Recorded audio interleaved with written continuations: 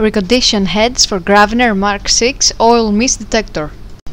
For testing, the heads are connected to the unit and then we simulate the oil mist with smoke detector spray sprayed on a head's path.